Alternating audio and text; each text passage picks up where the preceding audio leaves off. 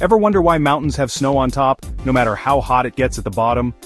In today's video we're going to explore why those peaks are always chilly, even on the hottest days.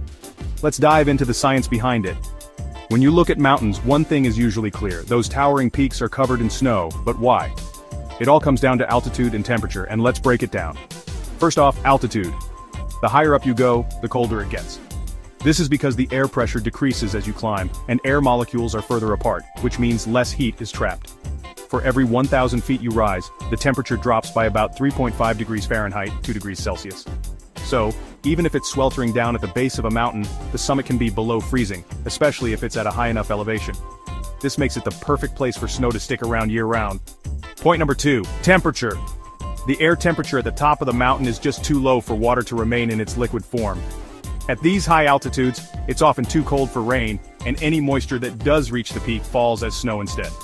That snow builds up over time, layer by layer, creating the iconic snowy caps we see on tall mountains like Mount Everest or the Alps. And here's an interesting fact. The snow line is the altitude at which snow can persist year-round. Anything above this line will be covered in snow or ice, and anything below it will experience more seasonal changes. So, it's the combination of high altitude and cold temperatures that ensures snow sticks to the top of mountains. No matter how hot it gets down below, the peaks remain chilly.